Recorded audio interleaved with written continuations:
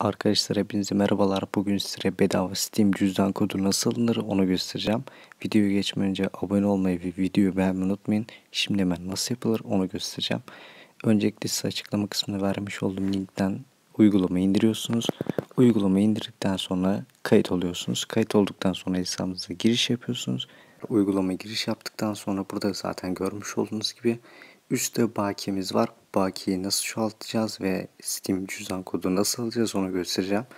Öncelikle arkadaşlar sol üstte insan sekmesi var. Oraya basıyorsunuz. Bastıktan sonra buradan arkadaşlarını davet et kısmı var. Oraya giriyorsunuz. Burada size bir kod verecek. Yani link verecek.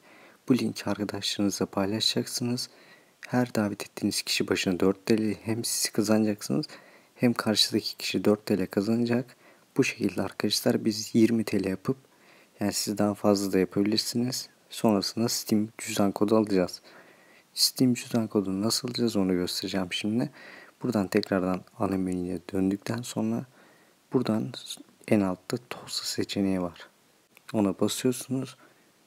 Bastıktan sonra arkadaşlar bu sağ üstte öde var. Ödeden oyun ödemelerine girdikten sonra buradan görmüş olduğunuz gibi Steam'i buluyoruz.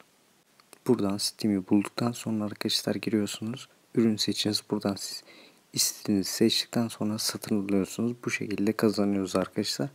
Ben indirme linkini açıklama kısmında verdim. Açıklama kısmından indirebilirsiniz. Anlatacaklarım bu kadar da bir sonraki videoda görüşmek üzere. Hoşçakalın.